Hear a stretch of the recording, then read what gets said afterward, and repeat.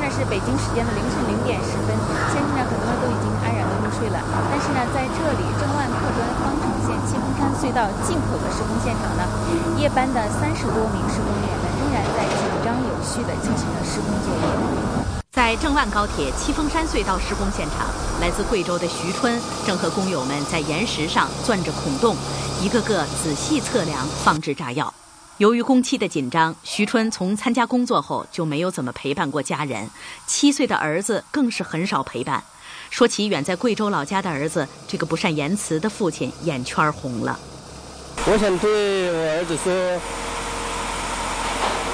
国庆期间嘛，希望你过得开心一点。等高铁修修建完成之后，我去带你坐一次。